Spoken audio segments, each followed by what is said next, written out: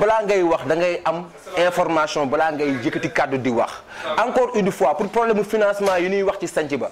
Mansour Faye dugal na fa quatre financement teg ko ci loxo Mame Penda Diouf tey Maysa bi mu jaaree fi mu waroon jaar dinañ ko xamal ni que financement yi dugg na te Maysa daf fi ñëw fekk fi benn bureau buy liggéey te bi mu ñëwee fekk fi benn bureau buy liggéey daf fi indaale ak programme am bi mu indaalee programme am am problème suux nu jël ko yóbbu ko ci Aminata Gueye Aminata Gueye def ak moom teraanga mu sant ko ba di bëgg tagg ay maam ba naan kaa bu ma xamoon say maam dinaa la tagg togg ko nu waxtaan wax dëgg moo si nekk bu ñuy wax ci jàkka ji Mansour Faye indi na si jàkka sanc ba benn euh, somme bi nga xam ne bi ñuy def suñu gàmmu daf ñu koy dimbalee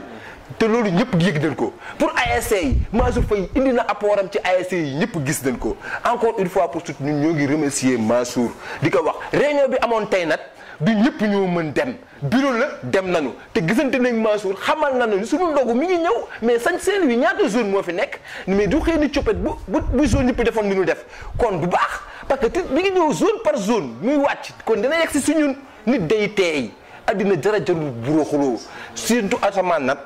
jarul booxoo encore une fois may invité may sa nika na dal affaire soxlawul xëccoo ñëpp xaj nañ ci nañu rafetal xol yi bu leen kenn vous êtes des jeunes am na ni nga xam ne ñun ñoo ngi soogaa door di politique bu leen ko kenn defloo bu leen nangu nu leen di utiliser bu leen nangu nu leen di utiliser ñun ñoo bokk dëkk ñun ñoo yeewoondoo sanc ba c'est important nañu xool ñi yeewoo sanc ba te ñun ñoo fay yeewoondoo donc kon c'est important donc bu ñu diviser wu ñun ñoo fay yeewandoo. pour jàkka sanc ba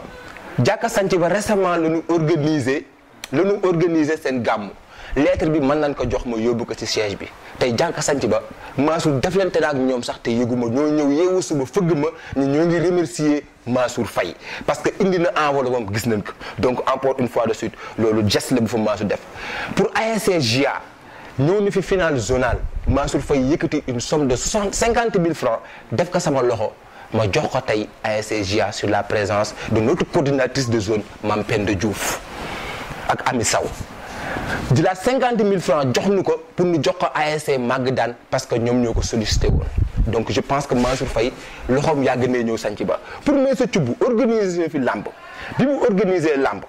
dem na benn instant am problème yu mu joxee mbëri ay avance ñëw ci man gis ma ci guddi gi laa koy yóbbu daar daar ci Aminta bi mu ñëwee moom ci xobbet xobbet la ko Aminta defal li mu koy defal mu koy tagg di tagg ay maamam naan kaa xaw ma say maam bu ma xamoon say maam dinaa la tagg tey